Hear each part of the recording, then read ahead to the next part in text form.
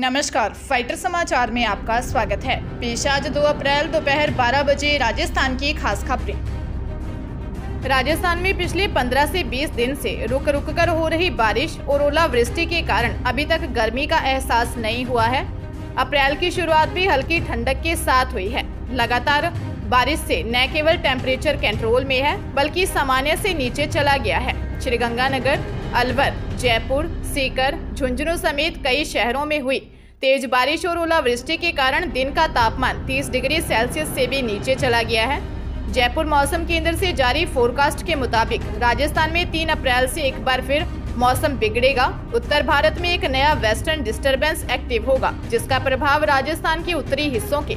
जिलों श्रीगंगानगर, हनुमानगढ़, चूरू, झुंझुनू बीकानेर और सीकर में देखने को मिलेगा। यहाँ तीन अप्रैल को कहीं कहीं गरज चमक के साथ बारिश और कहीं कहीं ओले गिरने की आशंका है। हरियाणा के नू में अतिरिक्त सत्र न्यायाधीश संदीप दुग्गल नू की कोर्ट ने सास ससुर व जेठ की जघन्य हत्या की महिला गीता और उसके भाई को आजीवन कारावास की सजा दी है। तीसरे आरोपी को सबूतों के अभाव में बरी कर दिया गया। सीनियर एडवोकेट सुनील परमार ने बताया कि 28 सितंबर 2017 को सोहना नगर में रहने वाली आरोपी महिला, गीता ने छतरपुर दिल्ली निवासी अपने भाई, समरजीत और पारिवारिक नौकर विकास के साथ मिलकर मकान में ही सास ससुर और जेठ की रस्सी से गला घोंटकर हत्या कर दी थी और शवों को गाँव चंडीगढ़ थाना रामगढ़, राजस्थान के जंगल में एक बिटोरे में फेंक दिया गया। सभी के शव मिलने के बाद राजस्थान और हरियाणा पुलिस के संबंधित थानों में दो अलग अलग मामले दर्ज किए गए। जानकारी के मुताबिक गीता के पति ने पहले ही पारिवारिक कलेश के चलते आत्महत्या कर ली थी। सास ससुर और जेठ के नाम पर करोड़ों रुपए की संपत्ति थी। इसे हथियाने के उद्देश्य से अपने भाई और नौकर के साथ मिलकर गीता ने हत्या की योजना बनाई।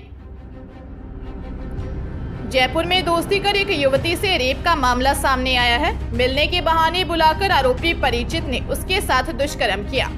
डरा धमकाकर घर से गहने मंगवाकर हड़प लिए। जयसिंहपुरा खोर थाने में 18 साल की युवती ने दर्ज रिपोर्ट में बताया कि कुछ समय पहले उसके फ्रेंड ने उसकी मुलाकात विकास सैनी से कराई थी। आरोपी विकास उससे बातचीत करने लगा।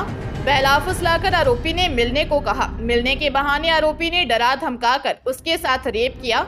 डरा धमकाकर आरोपी विकास 10 से 15 दिन तक उसका देश शोषण करता रहा। उसने घर से सोने का मंगलसूत्र और चांदी की पायजेब भी मंगवाकर हड़प ली। पुलिस ने रिपोर्ट दर्ज कर जाँच शुरू कर दी है। मुख्यमंत्री अशोक गहलोत ने सचिन पायलट को लेकर कहा कि पायलट कांग्रेस में ही हैं। हमें उनसे कोई परेशानी नहीं है। सियासी संकट के समय ज़रूर वो हमसे दूर हो गए थे, लेकिन हमने समय रहते सरकार बचाई। अमित शाह धर्मेंद्र प्रधान ने राजस्थान की सरकार गिराने की साजिश रची थी। जब राहुल गांधी कह चुके हैं कि गहलोत पायलट दोनों नेता कांग्रेस के लिए एसेट हैं, राहुल गांधी के मामले में कांग्रेस के कोर्ट नहीं जाने के ऊपर गहलोत ने कहा कि उनकी लीगल टीम है, जो एक्सपर्ट होती है, वो देख रही है, वही तय करेगी आगे क्या करना है। बीजेपी वालों को इसके बारे में हंगामा करने की ज़रूरत नहीं है। बीजेपी के इस षड्यंत्र से देश में आक्रोश है। जनता समझ रही है कि देश में क्या हो रहा है। लोकतंत्र संकट में है, धज्जियाँ उड़ रही हैं। ईडी, सीबीआई का गलत इस्तेमाल हो रहा है। कांग्रेस की आगे की रणनीति के सवाल पर। गहलोत ने कहा कि हम सत्याग्रह कर रहे हैं, अब फैसला जनता करेगी। पंजाब के तरन तारण में बेटी की शादी को लेकर मायके वालों द्वारा सभी तैयारियाँ मुकम्मल करते हुए बारात का इंतज़ार किया जा रहा था। यह इंतज़ार परेशानी में तब बदल गया जब दुल्हा बारात लेकर पैलेस में नहीं पहुँचा। इसका कारण यह था कि दुल्हे के परिजन दहेज में गाड़ी की मांग कर रहे थे, जो पूरी नहीं हो सकी। आखिर लड़की के परिजनों द्वारा किसान संघर्ष समिति के साथ मिलकर थाना सिटी तरन तारण का घिराव करते हुए धरना दिया गया। पुलिस ने दुल्हे सहित ससुराल वालों के चार लोगों पर केस दर्ज कर लड़की के ससुर असराल सिंह को गिरफ़्तार कर लिया। लखबीर सिंह निवासी गोहलवड़ ने बताया कि उसकी बेटी पुनीत की शादी अंग्रेज़ सिंह निवासी पलासौर के साथ तय हुई थी। ससुराल वालों ने दहेज में गाड़ी की मांग की, यह मांग हम पूरी नहीं कर सके। इसे निराश दुल्हा। वे उसके परिजन बारात लेकर ऐसा रिजॉर्ट पैलेस में ही नहीं पहुँचे, जबकि शादी को लेकर सभी इंतज़ाम हो चुके थे। झुंझुनू ज़िले में एक सब्ज़ी विक्रेता के साथ साइबर ठगी हो गई।